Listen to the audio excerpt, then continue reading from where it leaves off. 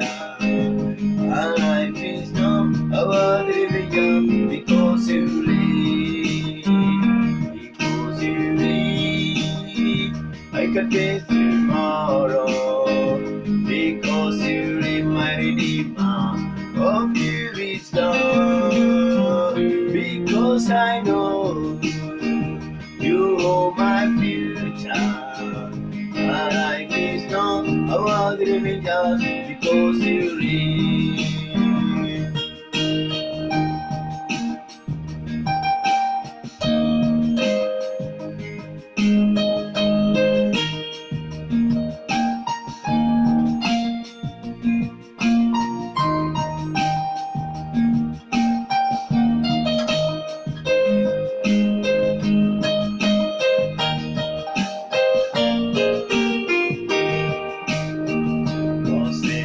some, they call him Jesus. They came to see, heal and forgive. Me. Because I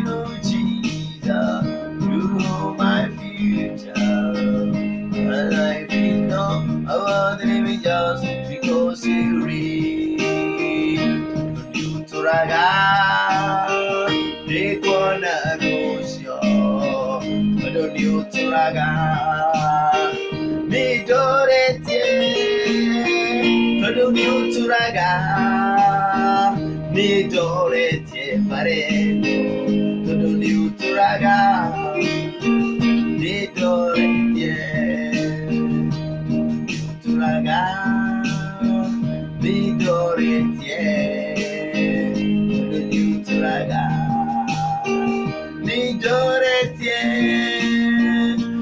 you to ride out.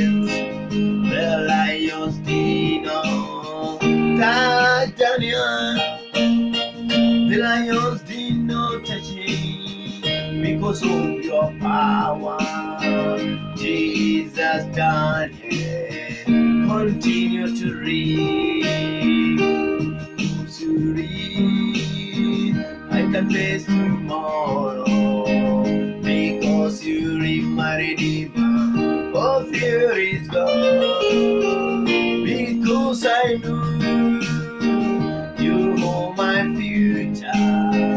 My life is not about living just because you read. You gonna lose you. Kwa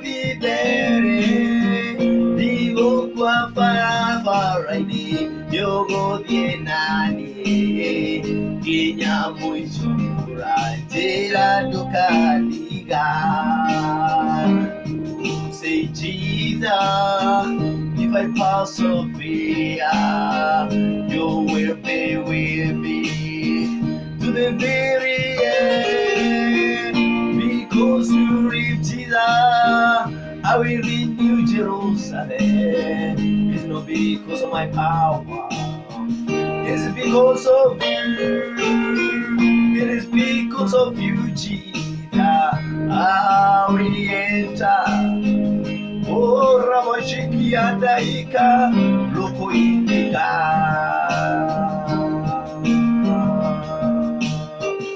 Oramushikianda kaya nikaya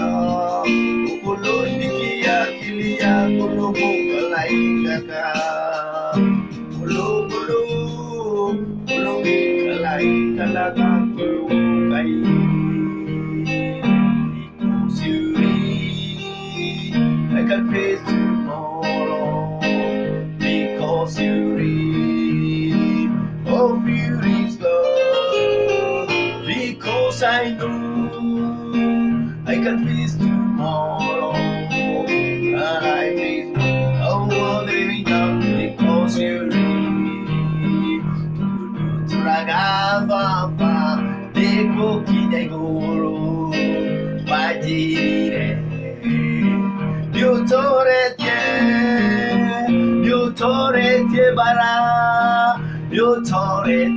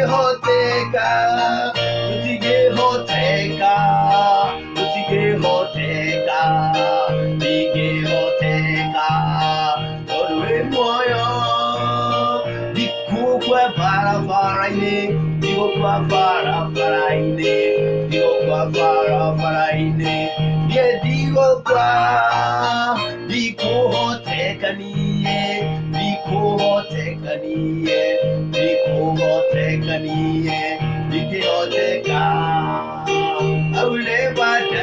I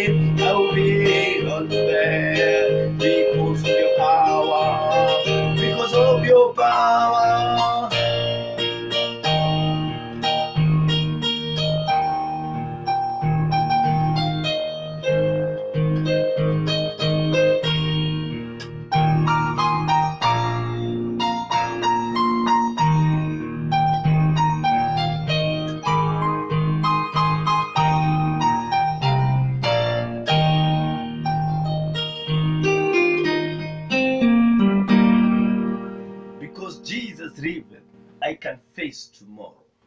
Because Jesus lives, I live a victorious Christian life. Because Jesus liveth, I am a victor in the kingdom of the Most High God. Because Jesus you liveth, I am a powerfully anointed servant of the Most High God. As the president of a nation, has the power and authority to speak and make things happen, not because of his physiques or outside power or muscles or masculine, because of the force behind him. The Bible says in the book of Psalms 91 that thousand may be against me, million may be against me, trillion may be planning and conspiring against me, like they did for Daniel, like they did for Shadrach, Meshach, and Abednego, like they did for Joseph, sold him for silver. Thinking it is his hand, his end, but it was the beginning of life to glory. Billions, trillions may be against me, Psalm 91, but they cannot touch me because I have the force more powerful than that of a president of a nation, more than that prime minister of a nation, more than that leader of a nation, who have the powerful force of the army and police and almighty power behind him. And we bulletproof bunker for protection and all kind of protection. The Bible says, not by might, not by my own physics or by my own physical appearance or masculine, but by the power of the Holy Spirit as the president and the leader of a nation have a powerful and authority behind him. He has the power of the commander of the army of all powerful force. Those who believe in the Lord Jesus sincerely have the power, not because of their own power, because of the power of the living God. The Bible says in Psalm 91 thousand may be against you, thousand may be against me, millions and trillions, but they cannot touch me. I will observe in my eyes the punishment of the wicked. It is the truth of the word of God which is my security, which is your security. Thou shalt know the truth. John 8 32. And that truth will set you free. That by the power of the Holy Spirit, by the power of Jesus, by the blood of Jesus, the Bible says in Revelation chapter 12, not we're gonna defeat Satan kingdom his satanic clue, his satanic crew, satanic demonic movement of Satan, Antichrist, and false prophet. We're gonna defeat it by the blood of the Lamb and the word of the testimony. Revelation chapter 12. Not because of our own power, but by the power of the blood of Jesus and the word, the testimony that Jesus resurrected, died and resurrected, and died for us. And with him, by believing we have salvation, by the testimony what God have done for us, by the testimony that Jesus says, mind you, mind you, you're gonna have trouble in this world, but I have overcome the world. We have a security at the very end. At the very end, at the very end, starting at the very end, there is a victory. Jesus say, I have overcome the world and he gave us assurance. I have i will be with you to the very end. Matthew chapter 28 i will be with you to the very end. I will be with you. Preach baptize. Make known the mystery of this gospel. Never keep quiet your mouth. And the gospel matthew 24 14 shall be preached to the whole world. When you open the tv and the gospel will continue. When you open the internet and the gospel will continue. When you open the radio and the gospel will continue. When you open the WhatsApp and the gospel will continue. When you open the Twitter, then the gospel will continue.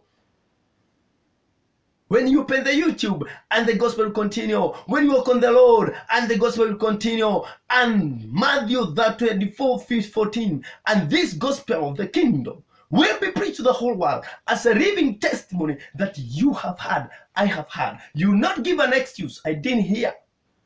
Everyone will be made known, will be made to know the truth. So you'll not escape. You'll not give an excuse.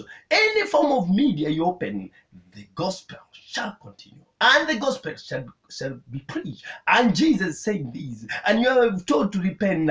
And these are the last days. These are the days of the last transplant. These are the days of the beginning of the child labor of a mother about to give birth. These are the days of Jacob trouble. These are the days of Job trouble. These are the days of Samson trial. These are the days of Job's trial. These are the days of Joseph trouble.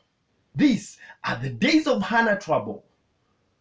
These are the days of Shadrach, Meshach, and Abednego. These are the days of Daniel. These are the days of Elijah. These are the days God is saying that we shall not kiss the Baal God for food. We shall not worship the demonic forces for living as Elijah refused.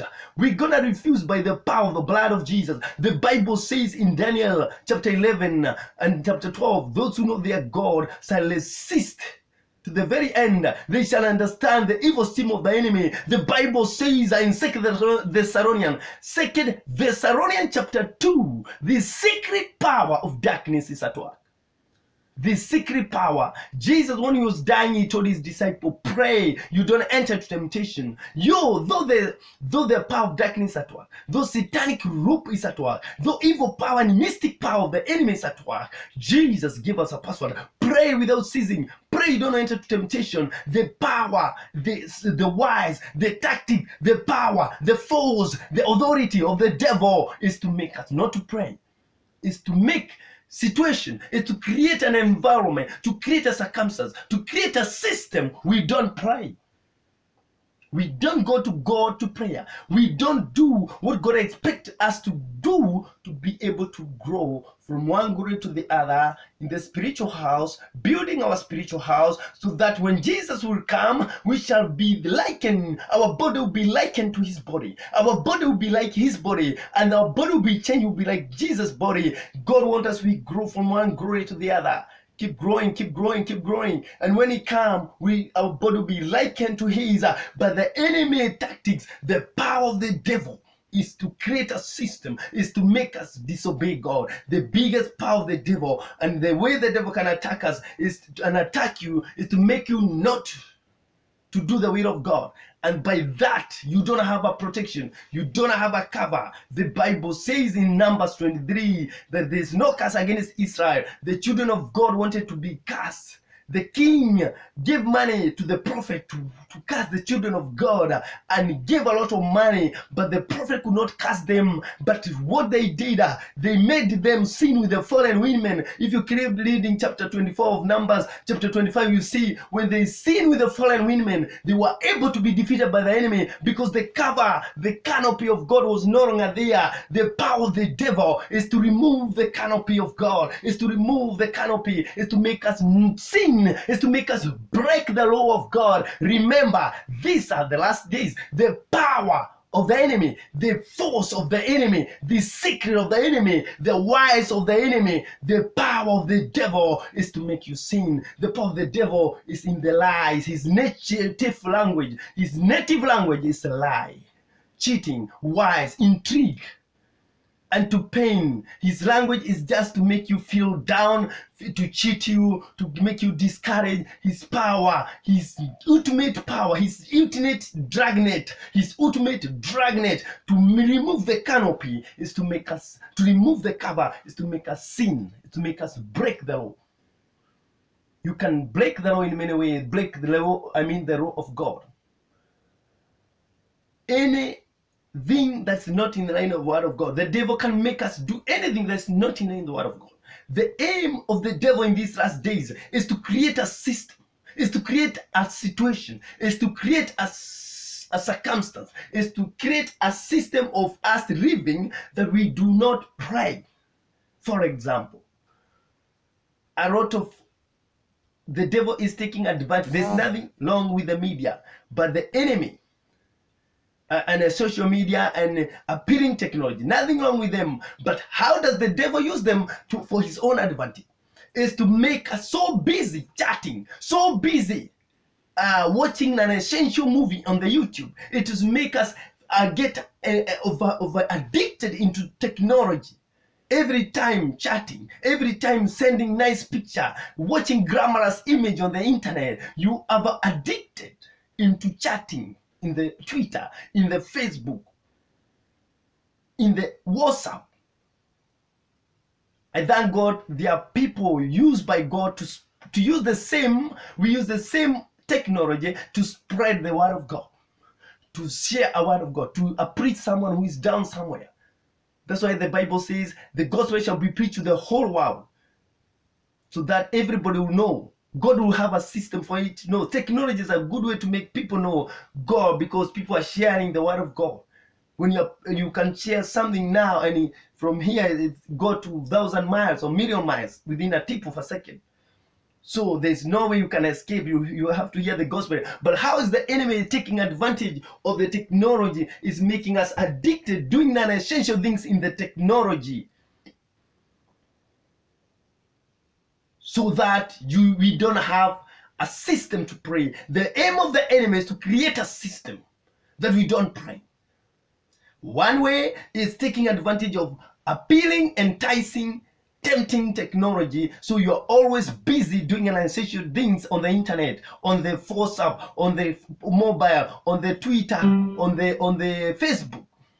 Another way is to bring very very convincing issue in your marriage. Very very convincing issue to bring laboring bickering and fighting in your marriage. So you always fighting and say and, and, and give you pride and say you cannot do this to me. You cannot. So you rise the other one rise the couple rise the other one rise. So you don't have time to pray. The aim of the enemy is to create a situation a system a circumstance you don't pray Jesus, when he was dying, he told his disciple, Pray you don't enter to temptation. Pray you don't enter temptation. When he's coming from out of Mount Olive wearing the white garment, he met his disciples sleeping and he told them, Pray you don't enter to temptation. The aim of the enemy is to create a system that we don't pray so that we break the law of God. Those shall know the truth, and the truth shall set you free.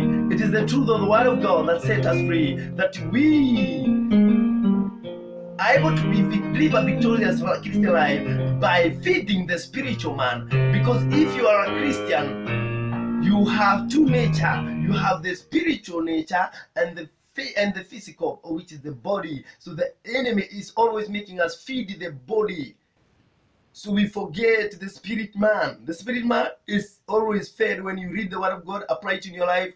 You pray and fast in sincerity. You read the word of God. You're always praising God. So you you tell you see that you're living a victorious Christian life because you're always thinking about things of God. The Bible says in the book of New Testament that set your mind on things above. How can you you let your spirit man focus on things of God by praying every day, reading the word of God, uh, praising and worship, adoring God in sincerely worship.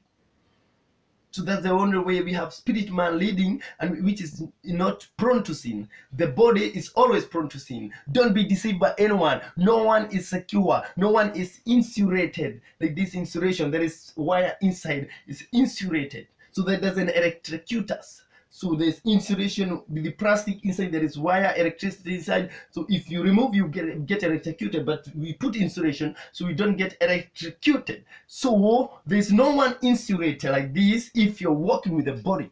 Do not be deceived by anyone. It doesn't matter how powerful the preacher is. Without working with the new nature, you are prone to sin. You can sin anytime if the body is on top. But if you're applying the real word of God in your life, feeding the spiritual man, waking early in the morning to pray, always thinking about God, praying and applying the word of God practically in your life, you always live a victorious Christian life. Praying without ceasing. Don't be deceived by anyone. Without feeding the spiritual man, you live a, a defeated Christian life. The aim of the devil, the power of the devil, the authority of the devil is when he makes us sin and break the law of God. Every Christian person, every saint of God, every true Christian has a cover. And the enemy, the power of darkness, the evil root of the enemy cannot touch you. Like if you read Numbers 23, 23, the children of God had a canopy. They could not be touched by curse of Barak, I think Barak or Balaam, who was cursing them after being given money by the king. Because they had a cover. How did the enemy make the cover go away? By sending foreign women to sleep with them and the cover was gone. So the enemy always remove the canopy, the cover of God when he make us uh, uh, break the law of God. Remember the power of the devil, the secret of the enemy. The Bible says in 2 Thessalonians chapter 2, the secret power of the enemy is at work. You will not know it, but we, you need to pray. So the uh, secret power of the enemy is to remove this cover. How is he making us remove this cover in these last days? Enticing, uh, tempting technology. When you open everywhere, there's glamorous images. People, there is our society is rotten. People walk almost naked. They expose their body. There is all form of demonic uh, activity and sexual living. People marrying male to male, women to women. So the, society is rotten. There is no landmark to show us where we are going when we are going to the city long time ago when you're a child and the city is very complicated town like a very big city you cannot know how to negotiate or to go to a point a to b you look at a big building and say i always check at that building I always look at that landmark. I always use this one to reach that point. For me to go that point, I have to look that high building.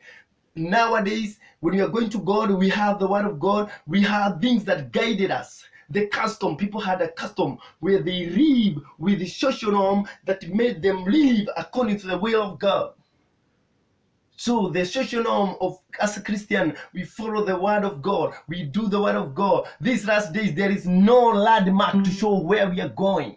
You can marry who you want. You can marry as much as you want. It's a free world. You can do whatever you can do to your body. You can do whatever you can do to your hair. It is no radmark. You can go to church and get married together, men and men, women and women. There is no radmark to show us where we are going. The society is rotten. These the enemy is taking advantage. The society is rotten. So that's why the enemy is taking advantage to remove the canopy the cover. The Bible says in Isaiah, I think chapter 3, uh, the beginnings, first chapters of Isaiah, that uh, where there is the God declare that this is my house, this is my Israel, this is my sin, he put a cover with the smoke and fire that no one can touch, no one can go there.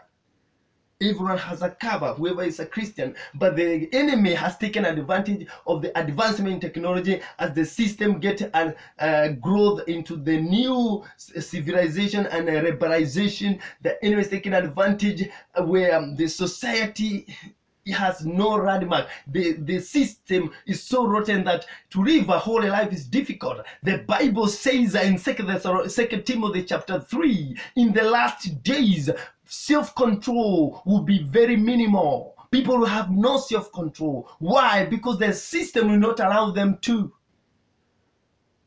There is no that seriousness in the word of God. When you read the same chapter, Second Thessalonians, Second Timothy chapter 3, that there will be a form of worship denying the power of God. And the Bible say, get away from me there will be a form of worship denying the power of the Holy Spirit or the power of God. You need to get rid of such kind of worship. The Bible also says in the book of Psalms or Proverbs that there is a way that seems right to a man, but it leads to the way of death. It will be there in the last days. There will be a lot of fake plastic religion, fake plastic pastor, fake and and false prophet. The Bible say clearly in the book of First Peter, I think chapter two or Second Peter chapter two, that the false prophet will be so much deceiving, deception. The deception will be on the lies.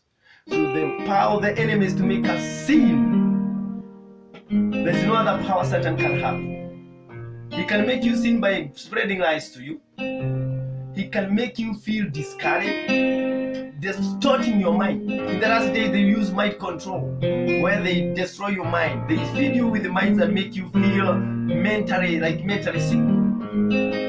The enemy, he can use even anyone close to you. Remember Hannah, how he was tormented by Penina, just destroying her mind. The enemy will send people to mock you, to insult you, so you don't feel like you can pray. And, and also uh, mind boggling where you are overwhelmed, you are given things that overwhelm you, you don't understand. What does this mean? The enemy will target to torture your mind, mind control, torturing, so that you have no power to or uh, power to pray to God or that uh, morale. This and days. The power of the enemy is to make you to remove the cover of the living God. He can do that many times, many ways. Destroying or making your mind, distressing your mind in various ways. You know many ways you can get distressed by people, by things, by system, by by by things that come to you like problem in marriage, problem in your family, problem in your work, problem in your church, problem in like diseases. The enemy will try all means to destroy. He always target to destroy your foundation. This house has a foundation. When that foundation is destroyed, the house falls. The enemy power is to try to destroy a foundation through many ways. We sing because Jesus liveth, we can be able to live a victorious life. Not because of our power. The Bible says because of the power of the Holy Spirit.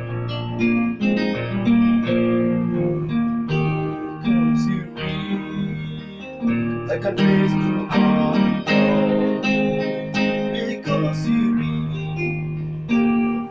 gone because you know I you hold my future Jesus. I will always live a Christian, victorious one. Because Jesus, you live, you always live a victorious Christian life. Because I know the secret of victorious Christian life.